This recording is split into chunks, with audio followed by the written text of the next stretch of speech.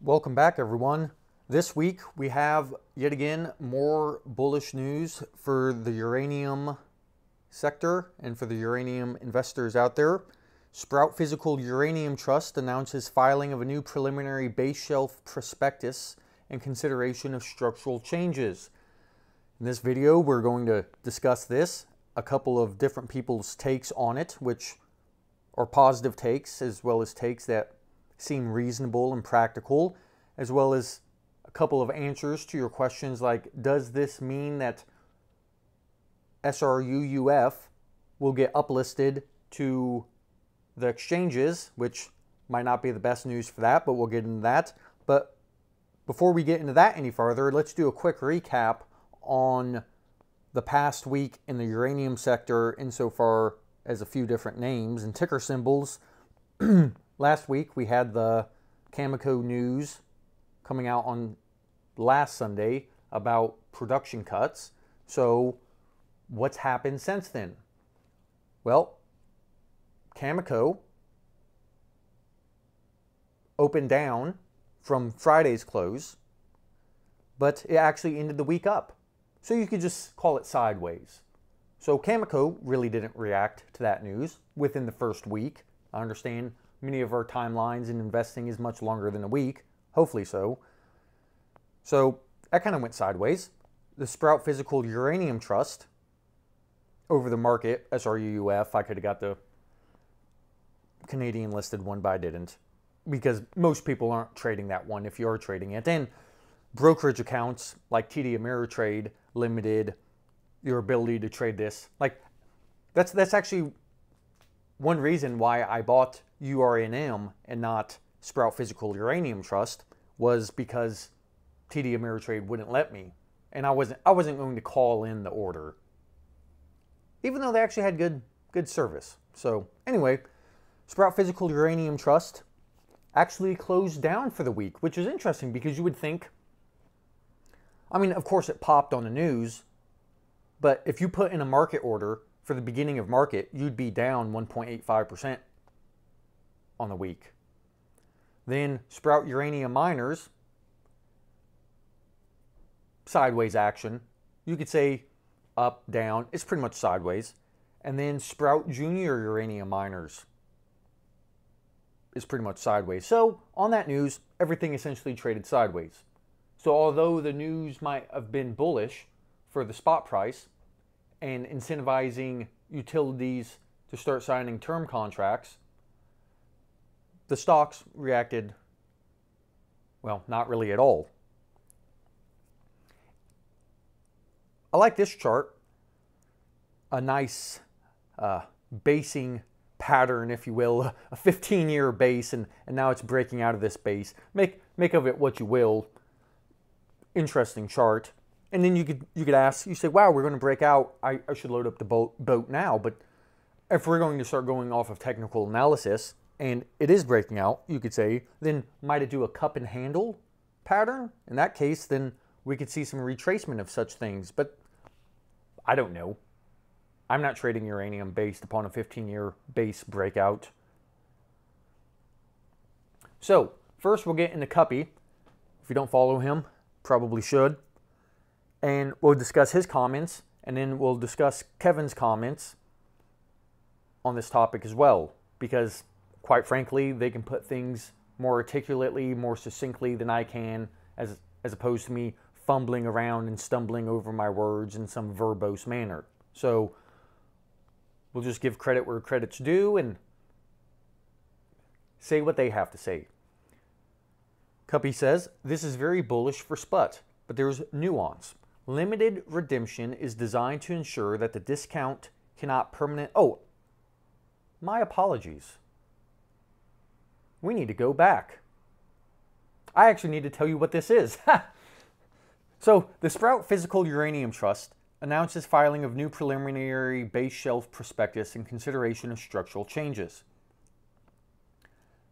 As disclosed in the new preliminary base shelf prospectus, the trust is actively considering the introduction of a limited redemption feature on a net on a not less than annual basis, the implementation of limits on future treasury issuances of new trust units, and other measures with the objective of having the trust units trade more consistently with its net asset value.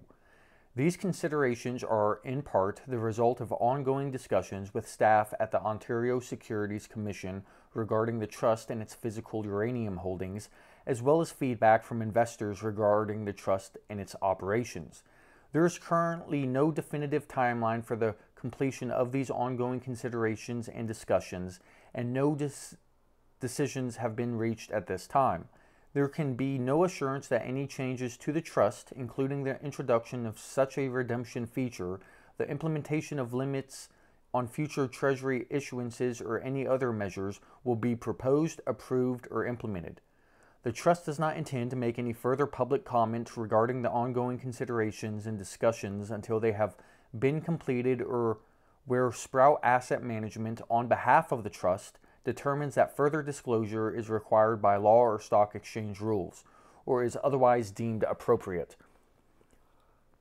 So, put simply, investors, and especially institutional investors, are either scared to buy this because of the potential discount to NAV. There's been multiple times where they have a 5, 10, 15% discount to NAV.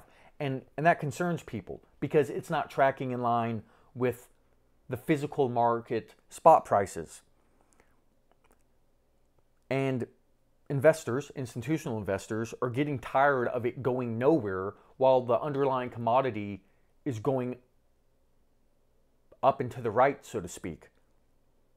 So between institutional investors pushing on them and the Securities Exchange Board pushing on them, maybe some changes will occur, which will then help well people feel more safe and comfortable and confident investing in it, in that particular vehicle or any of those vehicles. So with that said, Cuppy's comments. Limited redemption is designed to ensure that the discount cannot permanently widen past a certain threshold say 5%. Plus is limited to industry players, plus only certain limited windows of redemption. This is designed so that the trust never overwhelms the physical market with selling. I believe this will help to build liquidity while providing a release valve during times of market stress. During periods of selling in SPUT, a physical trader can short physical and buy SPUT and then settle that trade either by unwinding in the market or one of the limited redemption windows. This will better tether SPUT to physical by creating arbitrage opportunities, which is actually a big deal because, well, Bitcoin, as we'll get into in a moment, a lot of people were using grayscale Bitcoin trust as an arbitrage opportunity. And that's what a lot of institutions, I mean, it's more sophisticated than what the retail investors do, but it's, it's quite relevant. He goes on to say, remember, the biggest risk to SPUT was that the spread would blow out and it would act like GBTC. That's Grayscale Bitcoin Trust. With this potential now removed, institutional investors can step in and know that they'll receive approximately the NAV back on an exit. This had always been the biggest pushback. It also means that in an up market, the trust will increase approximately with spot market prices. Still, many details to work out from a regulatory standpoint, but this is a huge step in the right direction. Additionally, the shelf is now 250 million with a 125 million drawdown.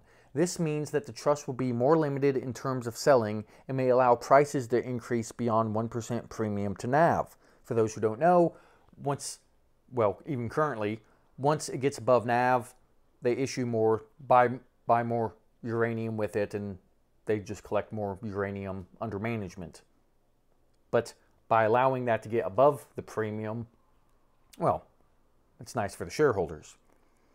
Ultimately, these are baby steps towards the ultimate goal of having the trust to act a lot more like other Sprott trusts, which track NAV, net asset value, if you don't know what NAV is. I really like it, even if some details need to be worked out. This sets the trust up for institutional adoption and is also a necessary step towards an eventual U.S. listing as well. Now we await further details. Note how SPUT tightened the NAV over the past few weeks. Market seems pleased. I know I am.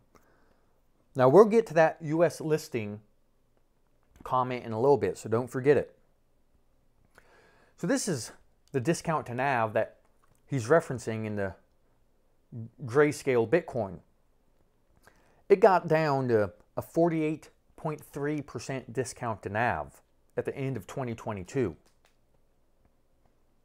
Now, that causes a lot of investors to shy away, knowing that you can have that kind of a, a difference. And, and people just don't want to participate. And matter of fact, right now, it's still 17% below NAV. And and remember, so it went from December 27th, 2022. So we'll just call that from the beginning of the year, it's gone from being negative 48% of NAV to negative 17% of NAV, while the stock itself has gone up 135%. And while Bitcoin has gone up 55% year to date. So, year to date, Bitcoin's gone up 55%. So, just with Bitcoin going up 55%, one could say that the NAV should have closed. It should be trading at a premium, if anything. But it's not. It's still at a negative 17%. So that those are the kinds of fears that people have. Because essentially, as the spot price of the commodity, in this case Bitcoin, goes up, the vehicle that you chose to express your view in doesn't go up with a one to one correlation. And, and that scares a lot of people away from participating. Kevin says, shares a lot in similar sentiment to Cuppy. So, a comment that he's replying to is Elephant in the room. What do you guys think about SPUT becoming a seller of physical uranium thanks to the proposed redemption mechanism?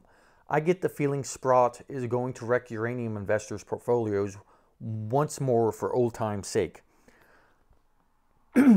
this is a snide, cynical, sarcastic, unsophisticated uh,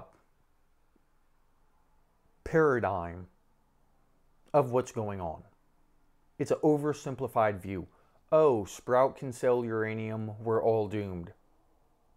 Like, that kind of mental modeling of the world is not going to help you be a successful investor. I can assure you of that. Now, it's a worthwhile question to ask, but you can see the little uh, sarcastic and at best, or at best facetious comment with their disdain towards Sprott wrecking the uranium market and their portfolios. Like, so Kevin says, this is not what is going to happen. I know well that there are piles of huge mutual funds and even gigantic pension funds that can't own physical uranium. The prospectus of many funds like these prevent them from owning future contracts and other exotic ways of getting exposure to uranium. But they can buy SPUT, only they haven't been willing to commit 100 or 200 million or more to physical uranium because of a fear of getting caught and having to sell the shares at a potentially huge discount to market. But now they will be buyers, insofar as Sprott figures this all out. Also, utilities will be way more likely to chip away at SPUT and own it as a hedge when it ever, whenever it's at a discount to spot. Bottom line, the discount will be tightened up. The liquidity will improve, the sector will become more investable, and capital will flow. So, less discount to NAV, more confidence in investing in that vehicle causes more fund flows to come into that industry and therefore prop the price up. We're already seeing that to some extent with the bigger names like NexGen, Cameco, with, with Druckenmiller and Cathie Woods buying Cameco and other people buying NexGen. People's going after the large cap names. That doesn't mean that the junior miners are suffering or not moving in line, but if they can get control over minimizing the discount to NAV, it, it's anything I can say is an understatement to how big of a deal that is and how beneficial that is to the market as a whole. So, to the New York Stock Exchange uplisting or cross listing.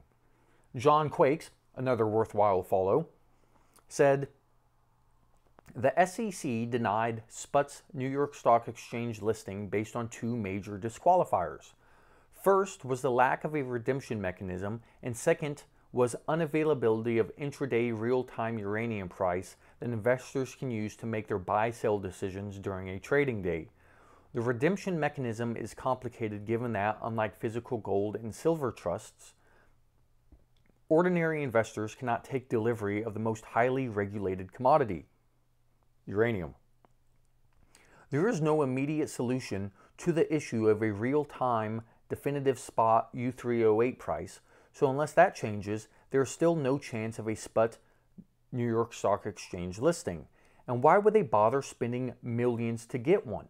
SPUT on the TSX, Toronto Stock Exchange, has grown sixfold to nearly 4 billion just fine.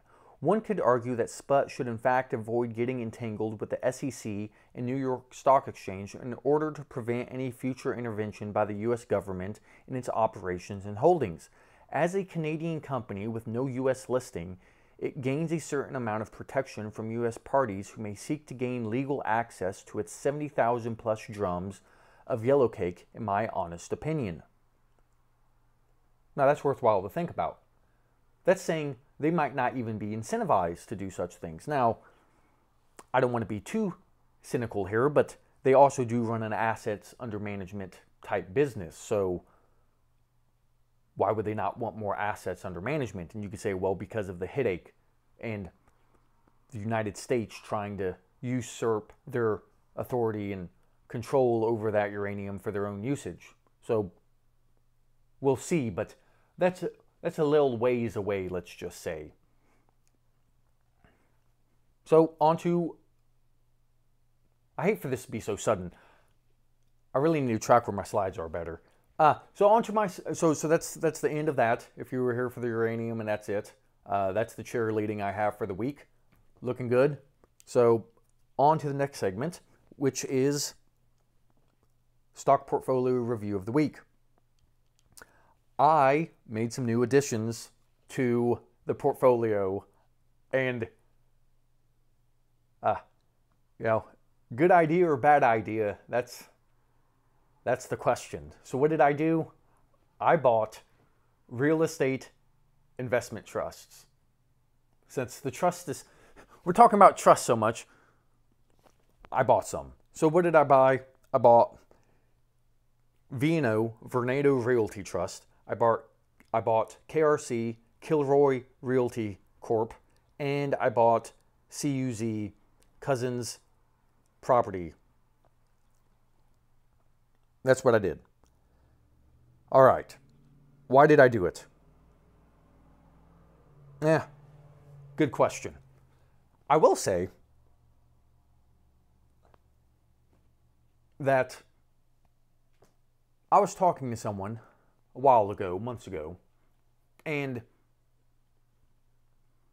and I said to them, and it was more of a tongue-in-cheek, joking kind of thing, but I said that when Zoom starts, kind of like when Japan reopens and restarts their nuclear facilities, is when you should buy uranium because that, that will signal a sentiment a sentiment change and inflection in the industry. It might not be the inflection because maybe that happened beforehand, but it's definitely a sign of confidence. So I said tongue in cheek to, to someone, you know, when Zoom starts bringing people back to the office, is RTO, as they're calling it, return to office. When they start returning people to the office, I'll buy some REITs. So, sure enough, Zoom is making people return to the office.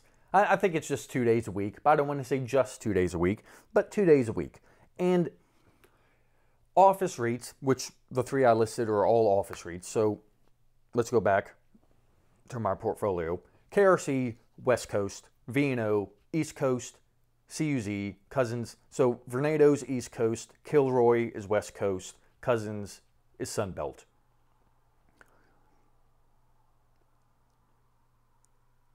And they're all office REITs. so I kind of got the map covered. I picked the best players in each regional demographic. They're bombed out sectors. They've they've rebounded. Vornado from its intra-year low so far this year. Vornado's up. I want to say 100 percent. I want to say Kill Kilroy is up. I don't know 40, 50 percent. I want to say Cousins is up 20, 30 percent from from that intra-year low. I, does it double bottom? Does it crash below that? I've been saying for weeks that I'm nervous about looking at the Treasury and how it looks like it wants to break out. And then if yields go screaming, then this is not going to be good. Uh, they're, they're all, these, these are not the most delta plays. Like Hudson Pacific Properties, HPP, they slashed their dividend uh, in Q1, let's call it 40, 50%. And then in Q2 on the conference call, they announced that they're they're removing it. So, you know, when when a sector is down 50 to 80%, people's handing back keys, dividends are getting slashed. My thesis, and, and I don't know when to execute on it, quite honestly. let, let me give you, maybe I should have started with this. I should have. I think work from home. I can't tell you how wrong. Now, I need to go back. We need to go back to call it sometime early 2022, late 2021. And everybody's talking about work from home is the new thing. And, and I, I thought, no. And I, I honestly, I have a framework that's going, that's beyond this, but just a psychological, behavioral understanding of how human beings work. And I thought it was all BS. Like I don't, I, I not, I did not think. The, the, I haven't felt this bullish on something. You know, I'm bullish on offshore oil. I'm bullish on uranium. Uh, I'm structurally bullish on home builders, even though maybe they've got overextended in the short term and they're they're making concessions and things like that. But Monster Energy drink, back in 2010, I started seeing it pop up, pop up here, pop up there. I was like, man, this would be a good investment, and I never I never did anything with it. And then I remember the first time I saw Elf Beauty brands in in the store that I shop for groceries at, and I thought, this is the time to buy this, and I didn't. And man, that, that, that sucks because those two have gone up a lot. And in a similar fashion, I think the work from home thing is a joke and wishful thinking. The problem is is how do you express it? Just because something might be true doesn't mean that there's a way to express it. So one might say that a good way to express it is through office REITs. I'm not so sure that's the case, to be honest with you it's not like you're going to get a 5x return, not on the names I picked. What did Vornado top out at? 100? So it's at 25. So So that's not a 5x. None of these are 5x's. Cousins property, be lucky to get 100% out of that in a few years. So between that and they're not heavily deeply discounted even though they are, in a sense, they're still not, insofar as the potential to get a five or 10 bagger. And like, there were hotels after September 11th that just capitulated in price. Those things were five and 10 baggers. These are not five and 10 baggers, not from where I've purchased them. And between that and structural inflation and higher interest rates and debt wall maturities, I'm not confident there is a play for this, at least not expecting those kinds of returns. But I kind of held myself accountable to my tongue in cheek comment about Zoom. So if you look at the oh Kastle office was a barometer Kastle I don't know office barometer something like that office occupancy has been trading at around 50% since the beginning of 2022. Really hasn't gone down, really hasn't gone up, just trading sideways. But the Sun Belt, pretty much where there's smaller or shorter commute times, less traffic, and growing populations, office occupancy is going back up much quicker than coastal regions, high traffic regions, uh, gateway cities. You know, the biggest cities. What, what, what are they? They're the top six, six largest cities in the United States is uh, San Francisco, Los Angeles, New York, Washington, D.C., Boston, and Chicago. And I'm not, I can't say I'm really bullish on those places. And then there's so much, you know, you can say, why did I buy KRC, Kilroy, when West Coast and all the crap that's going on there, homelessness, drugs, uh, Newsom, and so on and so forth, and deteriorating. And one of the reasons I'm bullish Joe in the Sun Belt is because of the capital flight from the East and West Coast. You know, it just seems like a sentimental play, and I don't know. If, if I lose my ass on it, so be it. But I guess I'm willing to lose my ass on it. Like I said, when, when a sector's down 50, 80%, dividends are getting slashed, keys are getting handed back, uh, private equities getting gated from being able to remove their funds, so on and so forth. That's, that's definitely not a top. Now, that doesn't mean it's a bottom either, but it's definitely not a top. And, and some are doing better than others. I brought up Hudson Pacific properties a moment ago. I kind of thought, and I still might, I don't know. They own office on the West Coast, and they also have studios, movie studios, TV studios. And with the what Writers Guild strike going on in Hollywood, they're losing money from that. And it's hurting sentiment even more. And now they're shoring up capital by completely removing the dividend and and well, huh, trying to make do in a higher interest rate environment. They're uh, uh, uh, who was it? It was uh, was it Piedmont? PDM, I think is the ticker symbol. They just they had a four hundred million dollar principal payment coming due in 2024. And they refinanced it. They, they refinanced the whole thing. And it is incredible the prices because, you know, after the whole banking fiasco, higher interest rates, credit lending standards are tightening, so on and so forth. This is why people keep on talking about work from. It's very interesting. You read a bunch of articles about work from home or I'm, I'm sorry, about REITs, office REITs, people are more focused on work from home than the massive interest rate spike that's happened over the past couple of years. Like, I, I think work from home's a joke, and I think it'll normalize at a higher level, especially in the Sunbelt region. Like, the interest rate's the problem. So, back to Piedmont, they refinanced this loan. It was a, what was it, a, a, a 4.1 4.45% was the loan. Now they refinanced it at 9.15%. That's a 500 basis point spread. That's going to add an additional, what I think, $20 million per annum of interest expense. And that's going to eat into the funds from operation. And it just so happens that the funds from operation or the adjusted funds from operation is kind of where the dividend comes from. So, with people having to roll over their debt in that kind of environment, I mean that's that's cannabis type usury debt loan prices. It's like nine point, I mean nine percent. I mean that's what SOFR plus four percent. I mean my goodness. I mean SOFR's at, at five point three. So I mean we're, we're like that's that's tough. And then the more, you know, EBITDA, the debt, higher leverage plays, the worse it's going to be.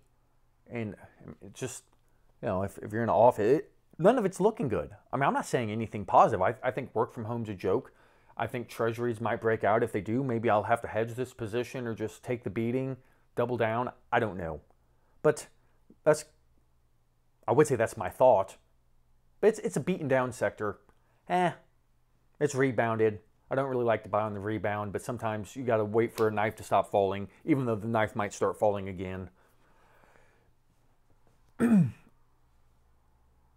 not the most bullish on it. So it's one of those things that I might do well on and feel sick that I, I have a position in it the whole time.